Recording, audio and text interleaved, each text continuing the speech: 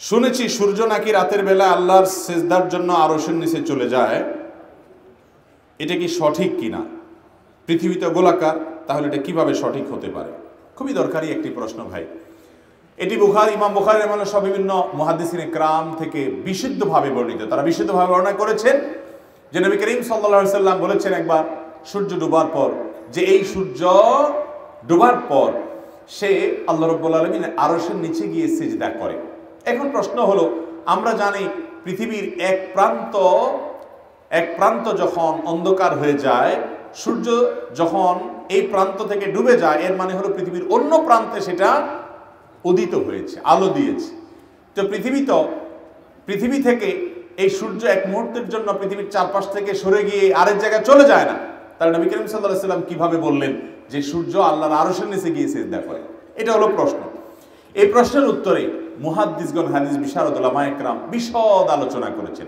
সবার আগে বলতে হবে পৃথিবী যে গোল এবং এটি এটির পদক্ষিণের যে বিষয়টা আছে, এটির চতুর্পাশে যে বিভিন্ন গ্রহ, বিভিন্ন নক্ষত্র যে পদক্ষিণ করে এবং সূর্যের যে পদক্ষিণ করার বিষয়টি, আল্লাহ তালা কোরআনে সুরে আসিনে বলেছেন ওয়াশামসি তাজরি ওয়াশামসু তাজরি লিমুস্তাকাররিল্লাহা, যালিকা তাকদীরুল আজিজিল আলিম। আল্লাহ রাব্বুল আলামিন স্পষ্টভাবে জানিয়েছেন যে এই সূর্য পদক্ষিণ করে। অতএব এই সূর্য যে চতুর্পাশে ঘুরে বিভিন্ন নক্ষত্র, গ্রহ যে মহাশূন্যে ঘুরতে থাকে, কোরআন তার বিবরণ দিয়েছে এবং মুসলিম বিশ্বের মনীষীগণ বহু আগে থেকে এটি স্বীকার করে আসছে। অতএব নবী করিম আলাইহি এই হাদিসকে কেউ আক্ষরিক অর্থে যদি বুঝতে চায়, তাহলে সে বিভ্রান্তিতে পড়বে। তিনি যে বলেছেন, সূর্য পৃথিবীর এক প্রান্তে যখন দেখা না যায়, ডুবে যায় তখন সূর্য আল্লাহ রাব্বুল আলামিনের কাছে আল্লাহকে সেজদা নিবেদন করে। এটার রূপ কি হবে? কাইফিয়ত কি হবে? মুহাদ্দিস উলামা একরাম বলেছেন, এটার কাইফিয়ত একমাত্র আল্লাহ তাআলা ভালো জানেন। তবে নবী সাল্লাল্লাহু সাল্লাম এর হাদিস থেকে বিশুদ্ধভাবে যখন প্রমাণিত হয় কোনো বিষয়, তখন সেটার কাইফিয়ত বা তার ধরন আমাদের জানা না থাকতে পারে, কিন্তু সেটাকে অস্বীকার করার কোনো সুযোগ নাই। সেটা কয়েকভাবে হতে পারে। একটা ভাবে এরকম হতে পারে। অনেকগুলো ব্যাখ্যা মহাদিস ইকরাম দিয়েছেন। তারা একটা এমন হতে পারে যে সূর্য তার কাজই করতে থাকে। কিন্তু তার মতো করে সে সিজদা করে। কারণ আপনারা জানেন, আল্লাহ রবুল আলমিনের জন্য জমিনের যত ধরাপৃষ্ঠের যত সৃষ্টি আছে, সকল সৃষ্টি আল্লাহকে সেজদা করে। কিন্তু প্রত্যেকের সেজদা হয় ভিন্ন ভিন্ন। একটা গাছ সেজদা করে। তার সেজদা হলো আল্লাহ রবুল আলমীর নির্দেশের আনুগত্য করা।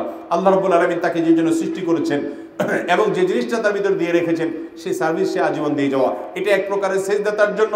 অতএব সূর্য, সে এক প্রান্ত থেকে যখন অন্য প্রান্ত সে চলে যায়, ওই সময় আল্লাহ রবুল আলমিন তাকে আল্লাহকে সেজদা নিবেদন করার মতো তার জন্য উপযোগী কোনো ব্যবস্থা রেখেছেন যে সে সেভাবে আল্লাহকে সেজদা নিবেদন করে এবং সেই সেজদা আর সে আজিমকে লক্ষ্য করে সে নিবেদন করে। ওইটাই নবী সাল্লাহ সাল্লাম বুঝিয়েছেন।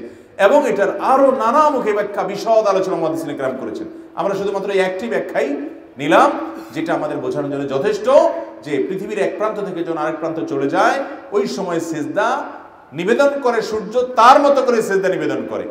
একটা পিপিলিকা, একটা গরু, একটা ছাগল, একটা মুরগি, একটা হাঁস যে কোনো সৃষ্টি আলমিনের আনুগত্য করে এবং প্রত্যেকে আল্লাহ তালার তাসবি নিবেদন করে, যেমনটি কোরআনে বলেছে যে ইমিন বিহামদি। দুনিয়াতে এমন কোনো সাই নেই, এমন কোনো জিনিস নেই যে আল্লাহ তালার তাসবি পাঠ করে না, নিবেদন করে না। এখন আপনি যদি তাজবি পাঠ করা মানে যদি বলেন, কই গাছে তো সুবাহান্লাহ বলে না, কই মাছে তো সুবাহান্লাহ বলতে আমি শুনি না, তাহলে এটা আপনার বোকামি হবে।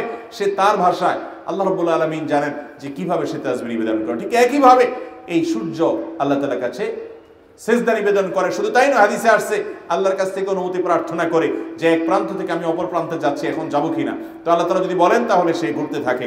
আবার এক প্রান্ত ঘোরার, শেষ করার পর আবার অনুমতি চান, আল্লাহ তালা আবার অনুমতি দেন। কেয়ামত যেদিন হবে, সেদিন আল্লাহ তালা তাকে বলবেন, না, তুমি আর পদক্ষিণ করার অনুমতি নাই এবং সেদিন কেয়ামত হবে। এই জন্য পশ্চিম দিক থেকে সেদিন সূর্য উদিত হবে, পাল্টা উদিত হবে। এই জন্য আল্লাহ রব্বুল আলমিনকে সেজদা কীভাবে সে নিবেদন করে, তার এই পদক্ষিণ অবস্থার মধ্যেই সেটার কাইফিয়ত বা ধরন আল্লাহ তালা ভালো জানেন। কারণ আলমল গায়েবের সব বিষয়, সকল কাইফিয়ত বা ধরন ইমানদার বেঈমান, যেই হোক না কেন, পৃথিবীর মানুষ সব রপ্ত করতে পারে না। যদি গায়েবের সব কিছুই আপনি রপ্ত করে ফেলেন, তাহলে আর আল্লাহ রব্বুল আলমিনকে আল্লাহ হিসাবে আপনি স্বীকৃতি দিলেনটা কি? এই জন্য আল্লাহ ইকবাল বলেছেন জু সমাজ মে আ গই ও ফের খোদা কেউ কর হুয়া। যে আপনার বুঝের মধ্যে যাকে ক্যাপচার করে ফেলছেন, তার সব আপনি ধরে ফেলতে পারছেন, সে আমার আল্লাহ হলে কীভাবে? আল্লাহ তো সেই মহান সত্তা যে আপনি তাকে অ্যানালাইসিস করে, গবেষণা করে, তার সব কিছু আয়ত্ত এবং রপ্ত করে ফেলতে পারবেন না। তিনি তো অসীম, তিনি তো সসীম নন। আপনার আমার বুঝ এবং বুদ্ধি এটা সীমিত।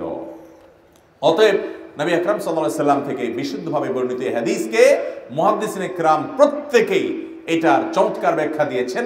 এবং বলেছেন যে এর কাইফিয়ত বা ধরন আল্লাহ তালাই সবচাইতে ভালো জানেন। তবে এটি বিশুদ্ধ হাদিসে বর্ণিত।